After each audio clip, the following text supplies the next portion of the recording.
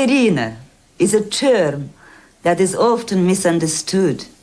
Many people think that ballerina describes any girl who dances on the tips of her toes in a ballet company. But it is a very precise term, yet almost indefinable. Sometimes in every great company, you discover in the corps de ballet some girls who have the same technique and sometimes a better technique than the ballerina, but they are not ballerina because they, they are lacking something which is very special and makes. Um, when, when we say a, a diva, you know, it's a word that becomes a little pretentious or a little funny sometimes. But the tra translation in Italian, it's a goddess. And the meaning is that someone who is touching the divinity. So, I mean, a diva, a ballerina, is someone is, who lives in a different planet.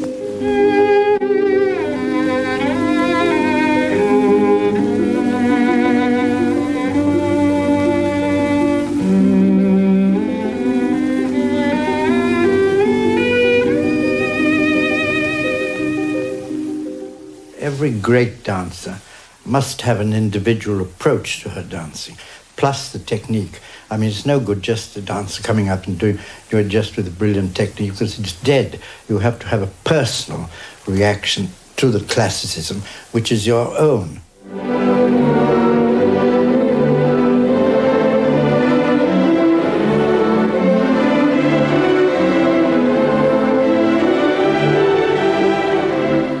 Ballerina, the name is very commonly used and almost too much so. But uh, a true ballerina is also a superb artist and a thoroughbred. There's a training in there which makes a finer uh, born to it, the way a breed of a special trained uh, athlete or animal. There's a fineness of the body, the technique, and most of all, the spirit which is different than anything else.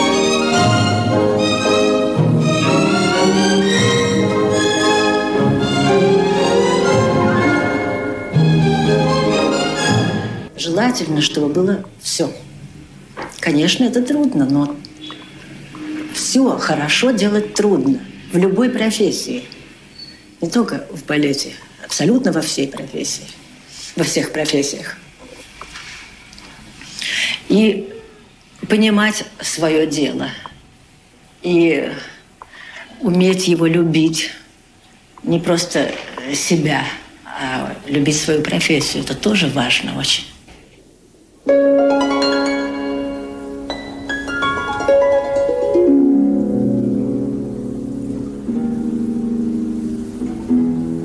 become a ballerina means to bring into ideal balance the physical possibilities of your stubborn, imperfect body with the possibilities of your soul, which, as you go through life, is continually renewing itself and constantly demanding new expression.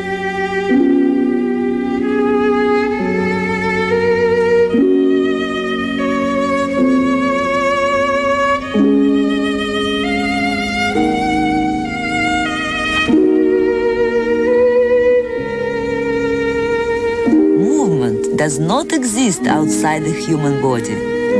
If a dancer's body is incapable of feeling movement with emotion, with meaning, in order to convey to the audience the equivalent mood, a sense of life, then such a body has no place in ballet. For me, dancing means overlooking the formality of movement it means spirituality. Otherwise, what good is it?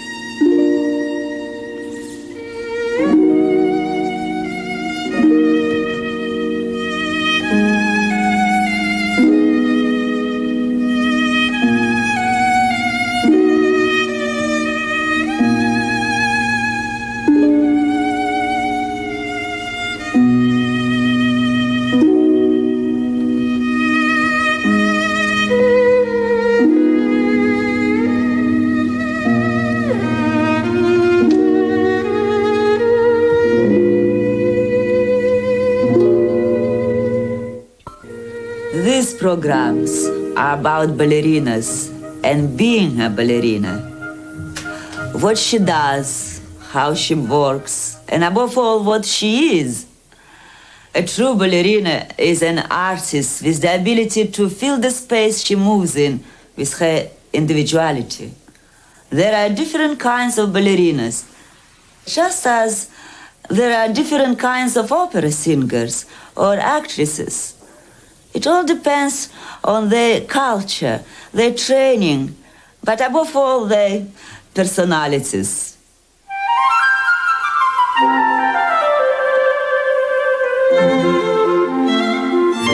First, there is the romantic ballerina. Early in the 19th century, the Italian ballerina Marie Taglioni was the first to rise on point, creating the weightless image of the romantic ballerina. Now, the great Italian ballerina of today, Carla Fracci, is famed for her romantic style.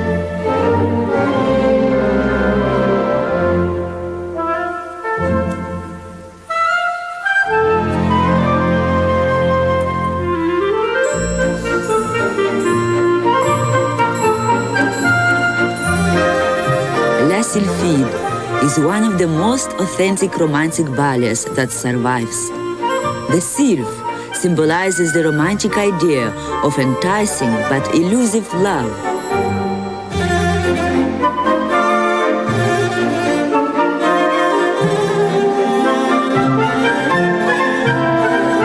Now a virtuoso ballerina. This is Cynthia Harvey of the American Ballet Theatre. In solos like this from Paquita, the ballerina must excite the audience with her technique.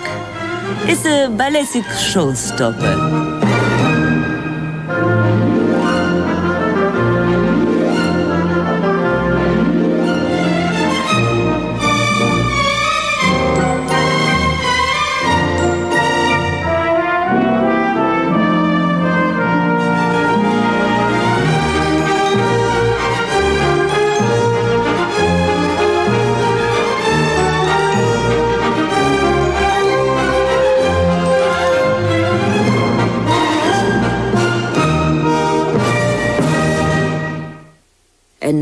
Ballerina as lyrical and dramatic actress.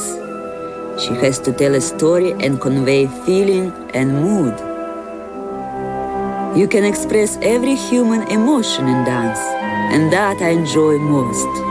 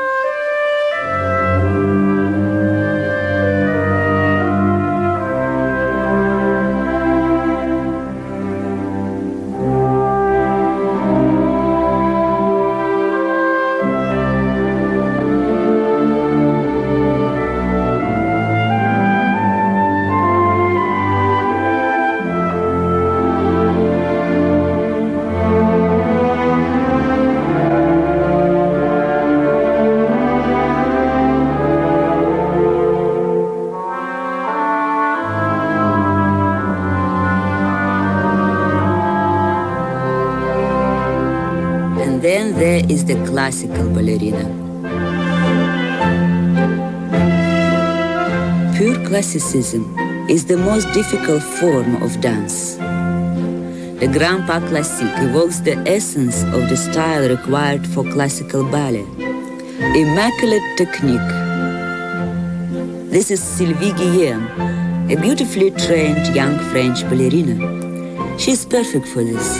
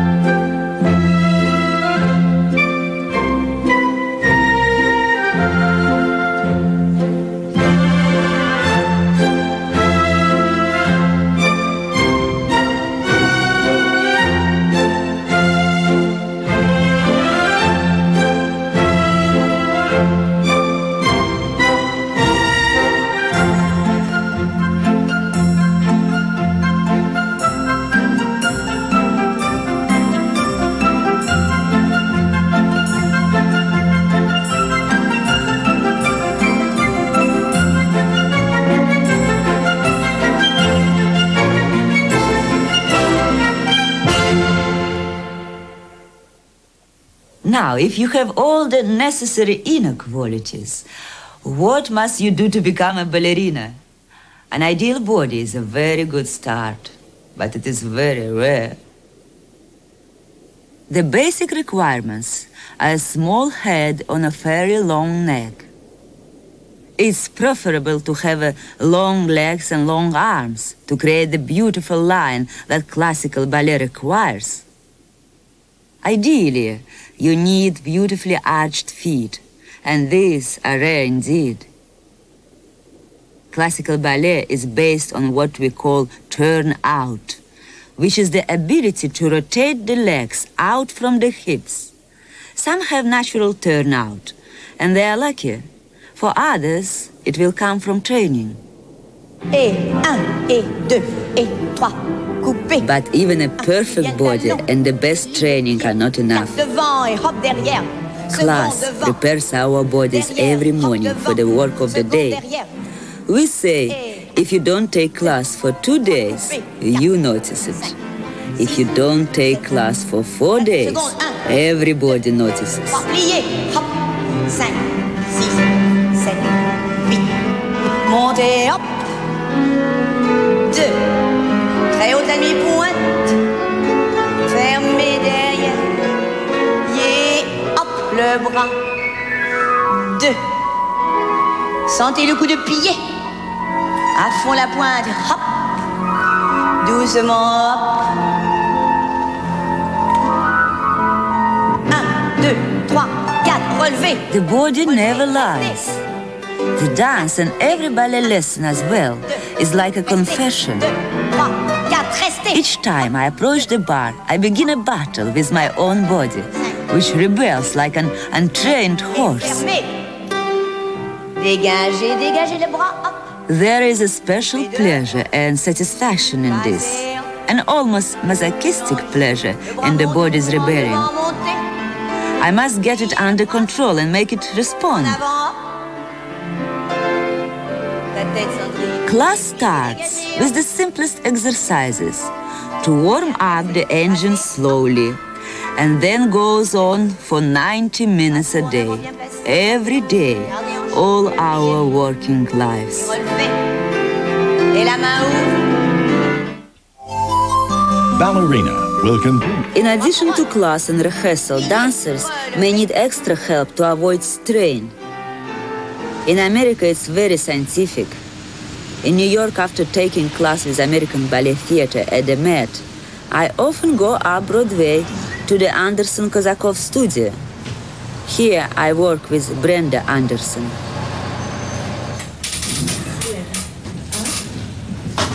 And the temperature. Bend the knees. Now roll out of it. Roll down.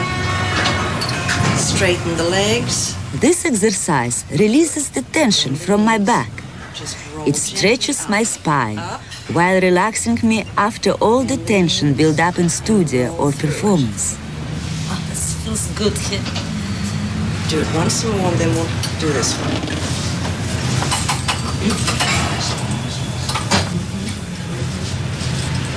Keep all this steady. Just work from the hip. This is not just to build up strength, but to stretch muscles and make them respond better.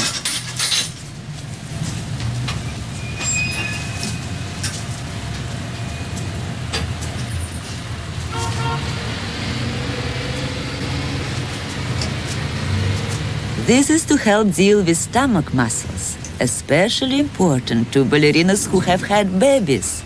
It helps to get you back into shape again, as I found out myself. Alternately, strength building and relaxation helps to build your stamina. That's nice. Yeah, That was a little creative. creative. Good. And straighten out. Drop. Down. Out. And just. In.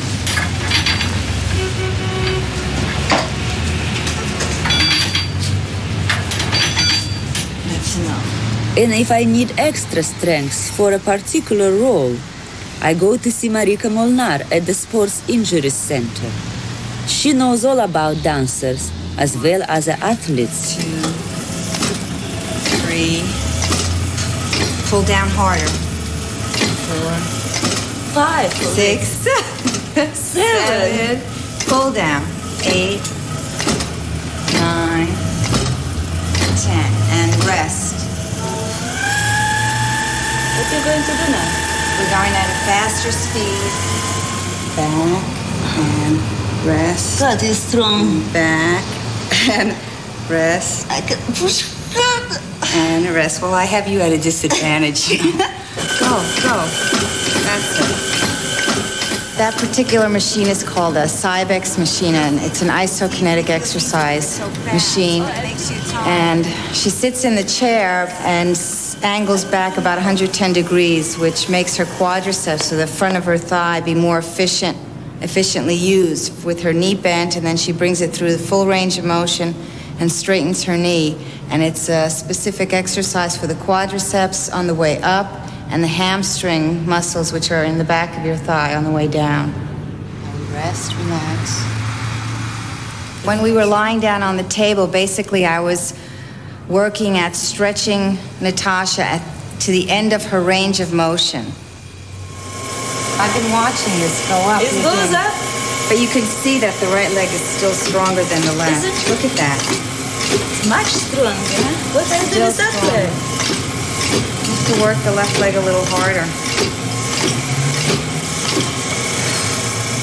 Up and down. This is special preparation for Swan Lake. And down. Stretch the arms over your She head. pushes my back so hard.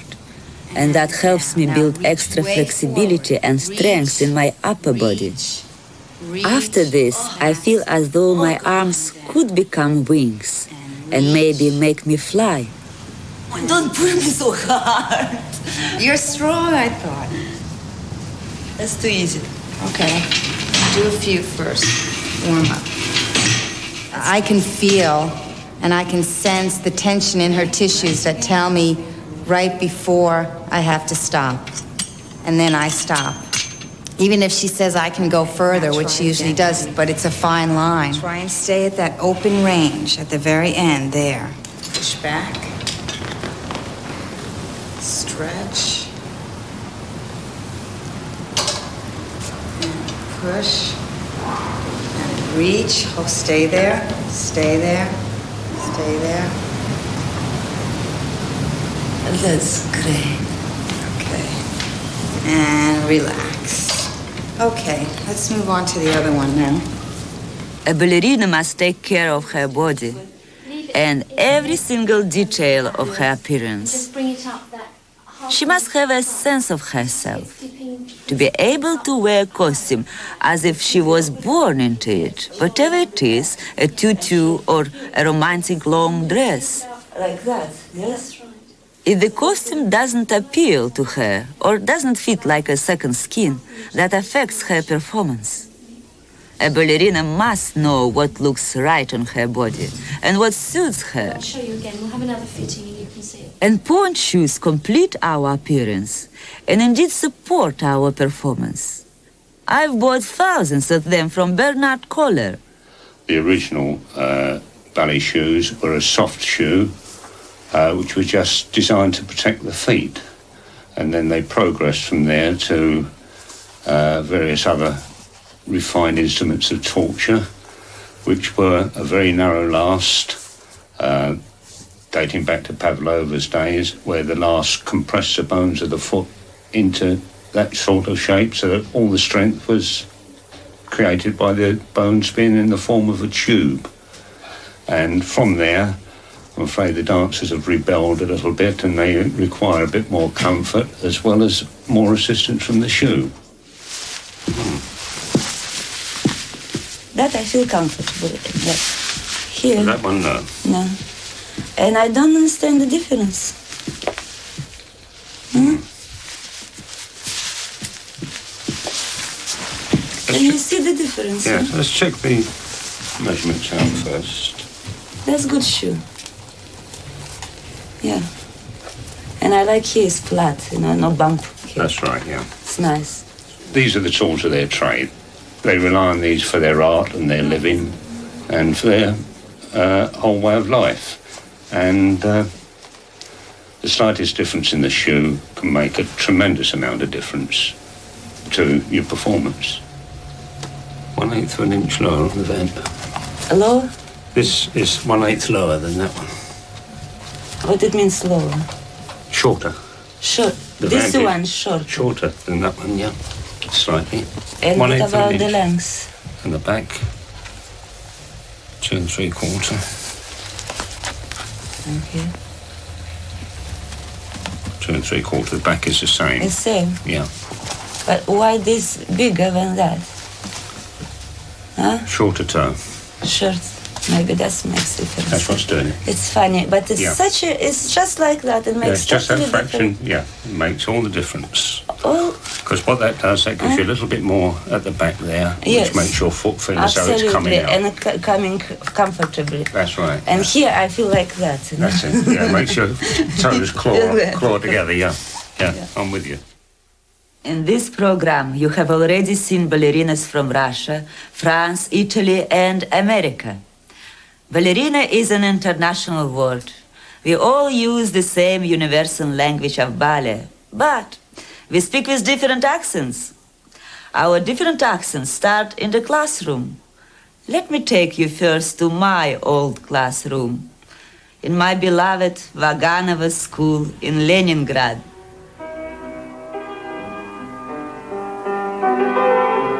On entering this school, you are immediately immersed in a special atmosphere, maybe a little old fashioned, and at the same time, typically Russian atmosphere of life in the service of the arts.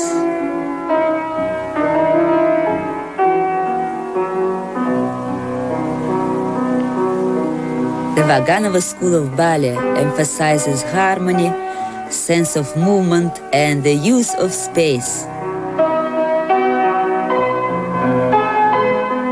From our teachers, we learned much more than technique. To us, they were living examples of social grace and elegant simplicity and manners. It is very aristocratic. After all, Kirov dancers are descendants of the Imperial Russian Ballet. At the school, we learned different styles because we had important classes in national and historical dance. This solo from Raymonda is an example of a Hungarian stylized dance put by the great choreographer Marius Petipa into a classical variation for the ballerina. In this character, we have to use shoulders and torso, what we call épaulement. It makes it distinctive, adds a little paprika.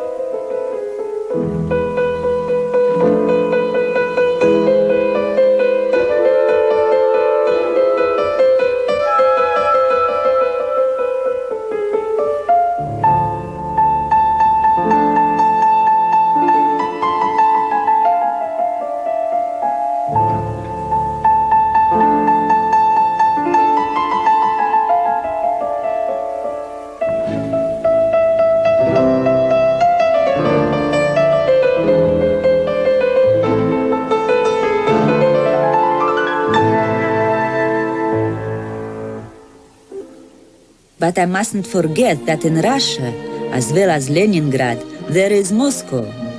For me, the supreme example of the Russian training is the Bolshoi ballerina Maya Plisetskaya.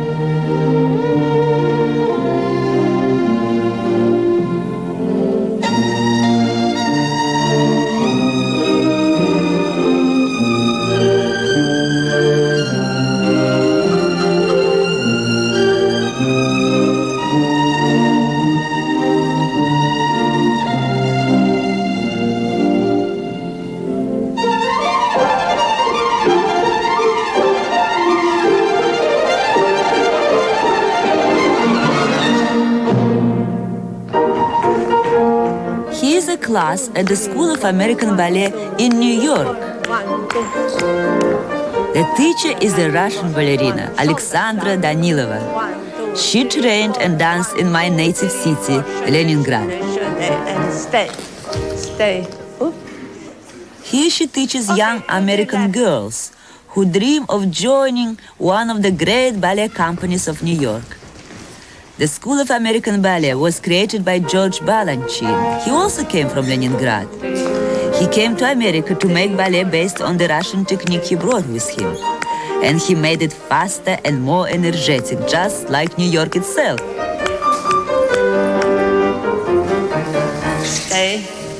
A former student of the school, now with American Ballet Theatre, is Susan Jaffe.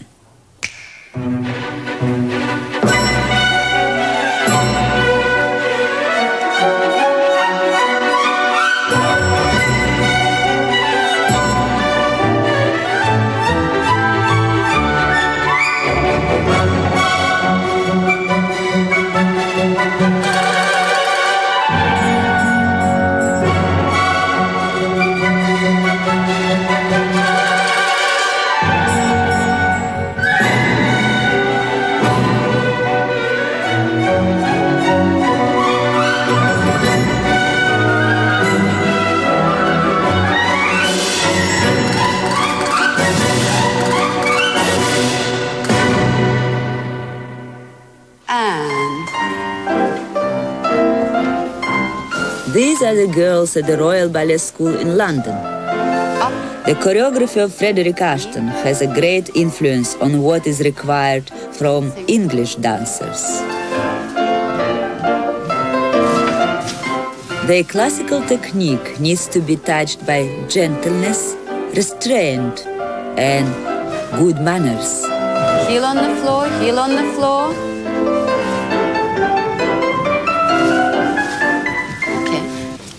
Fondu. And, They must appear modest rather than flamboyant. and down and uh, out.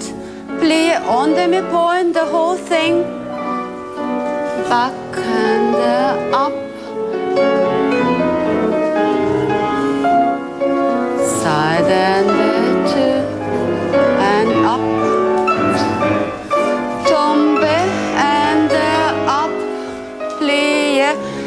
Hip back.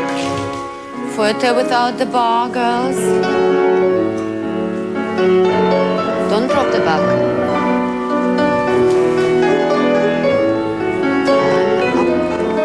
Don't drop the back on the double.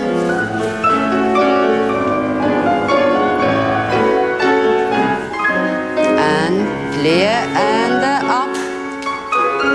Stretch the knee. Shoulders down.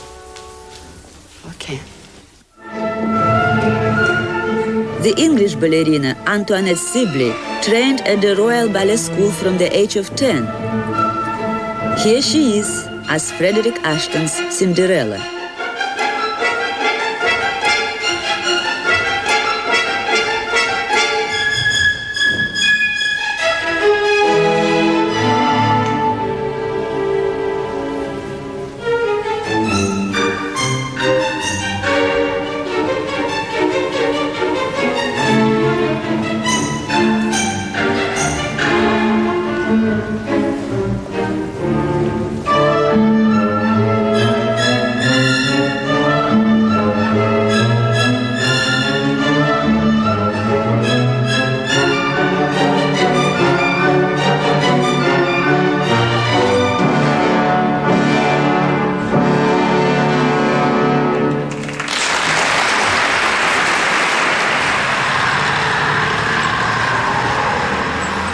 Now we are in Copenhagen, where the Royal Danish Ballet has preserved its tradition for many years.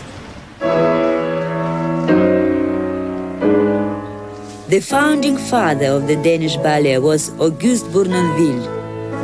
He trained in Paris.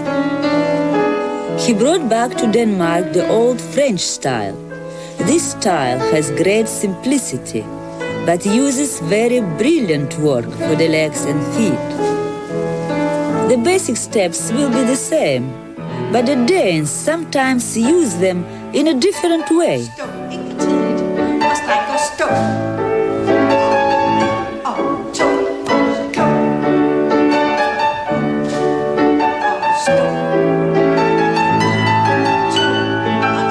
Bournonville technique is kept alive in the company and school. Kirsten Ralov, who was a leading dancer with the Royal Danish Ballet, is the teacher.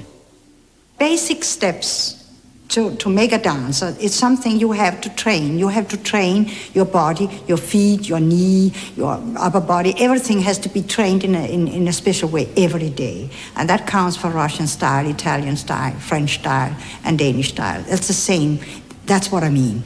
And uh, there, apart from the Russian, that, that's how, for instance, they use the arm. In the Russian style, if you open your arms and you you might do something like that with your hands, but we don't do that in Bournonville. We do it very simple, very plain, bring the arms down like that. That gives a little different softness of the style. It's not so, maybe not so sparkling, I don't know. To me it is. And especially the, the footwork in Bournonville is very sparkling, I find. Company class is light and lively.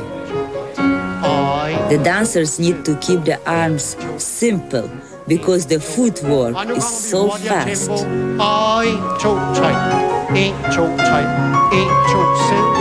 Og drej hovedet lidt mod benet. Og drej.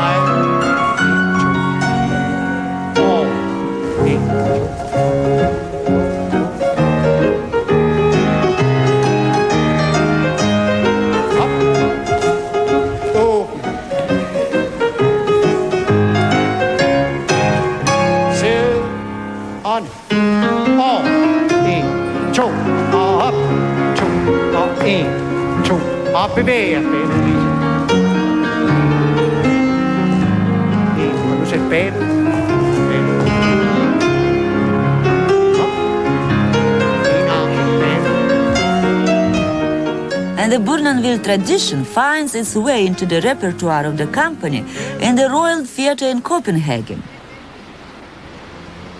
In one of his ballets, Konservatoriet, Bournonville created a picture of his student days in Paris in the 1820s. This is Lis Jeppesen.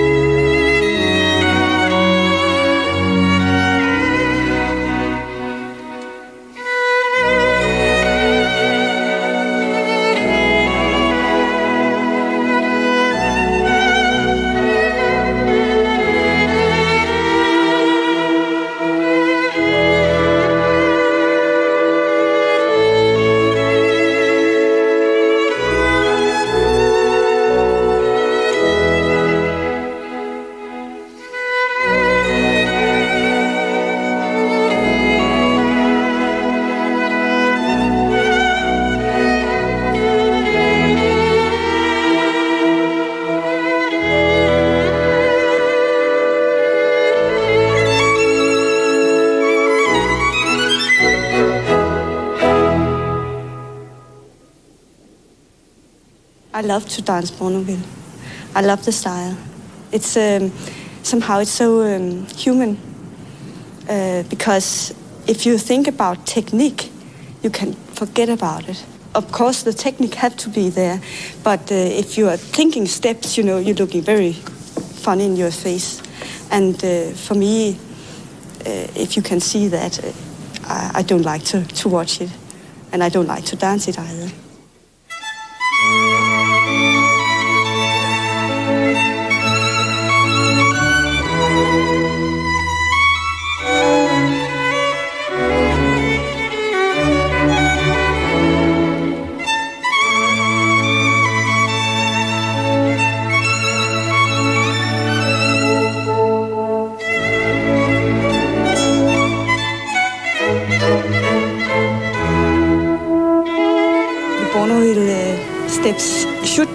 very easy, but they are really very hard. It should be very soft, but you have to have the control over your legs, of course, as in other things too. And then you have to smile and, say, oh, it's nothing, but it's really hard. I feel it's hard.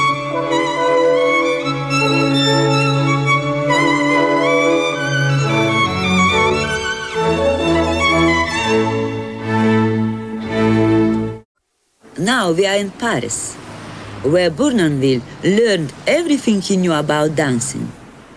The French ballerinas have developed from the style he found there, as their dancing was influenced by the virtuoso style of the Italian school at the end of the last century.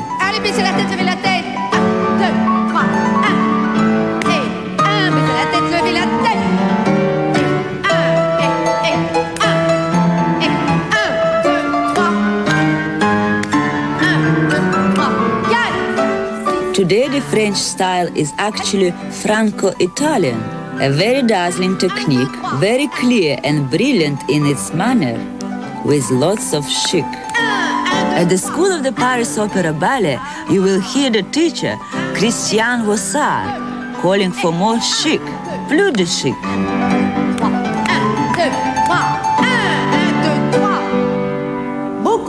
Chic plus d'épaulement. hein. La tête en bas, la tête en l'air. Là, là, là, là. Beaucoup plus chic que ça. Hein? The class ends with the reverence, a preparation for taking the bows on stage. It is also a mark of respect to our profession. Voilà. Et encore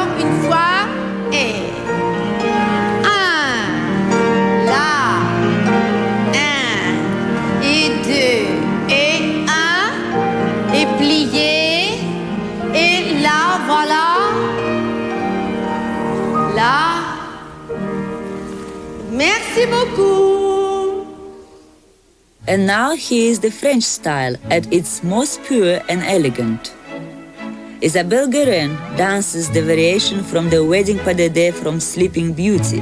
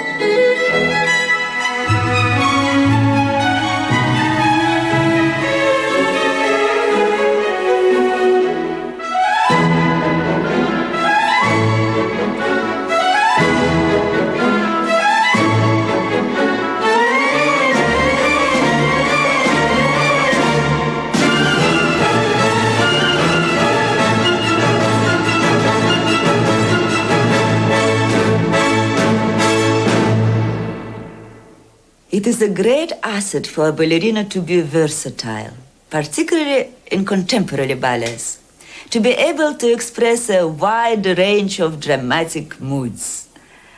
In a company like the Dance Theatre of Harlem, there is a very wide ranging repertoire. As Desdemona in a balletic version of Othello.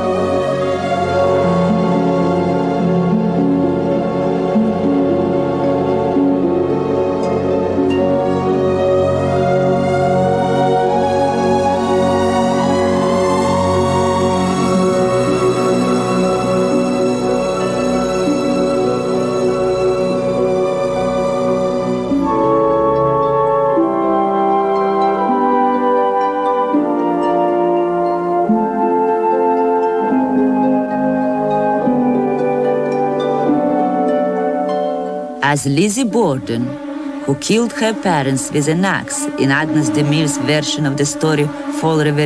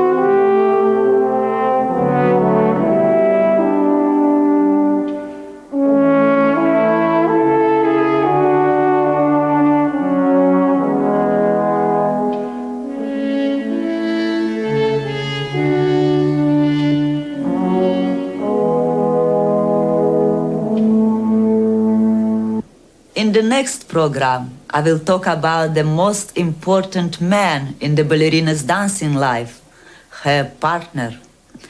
I will finish now with another performance by that wonderful virtuoso ballerina, Sylvie Guillem, with her partner, Manuel Legris, dancing the Grand Pas Classique.